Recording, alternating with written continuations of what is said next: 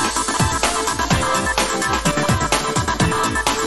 Civil engineering and infrastructure trends for 2021 As we draw to the end of the year, businesses and communities around the world cross their fingers that vaccines will present a successful to the COVID-19 pandemic. Dominating 2020, the coronavirus has disrupted industries, companies and communities across the globe. However, with governments eager to invest in new initiatives and a new appetite for technology and transformation around the world, the sector looks set for an exciting 2021. Four predictions for civil engineering and infrastructure infrastructure in 2021. 1. Reversal of the engineering skills shortage. Prior to COVID-19, many businesses across the engineering sector were suffering severe skills shortages. Companies had few opportunities to engage the next generation before they committed to GCSE subject choices. Demand for apprentices was exceeding the popularity of apprenticeships and thousands of skilled technicians were approaching retirement with no junior employees to take up their roles. The variety of reasons behind the shortage meant that at the beginning of the year, year, 22% of engineering and 42% of aviation business leaders ranked a lack of technical staff as their most pressing challenge. Facing a severe economic recession and record high levels of competition for job security, housing and enjoyable lifestyles, young people are likely to look to practical career paths such as engineering in the next few years. 2. Utilization of drones. Working from home has not only revolutionized the corporate world of offices and employees, but will play a core role in building and construction construction in the next year. The construction industry is the fastest growing adopter of commercial drones, and for good reason. A bird's eye view of a site can only be achieved quickly and cost effectively by remote technology, enabling contractors and project managers to receive invaluable information. Drones help building workers identify safety concerns, accurately assess necessary materials and both plan and respond to project requirements in real time. 3. Adapting to social distancing, smaller workplaces, as build specialists focus on finalizing new homes ahead of deadlines for the Help to Buy scheme and temporary stamp duty holiday. Next year will see a refocusing on the workplaces of the future, with only 12% of employees wanting to return to full-time office work. How can the working environment adapt to best suit those who use it? As 72% of office workers report favoring a hybrid remote office model moving forward, the office, and its required transport, retail and leisure facilities, will continue to be needed in the coming years. 4. Growth through sustainability Sustainability, announced in August this year, the £1.3 billion investment of the Green Homes Grant is intended to help the industry grow through. Economics Director of Construction Products Association, CPA, Noble Francis advises, while government plans for a £2 billion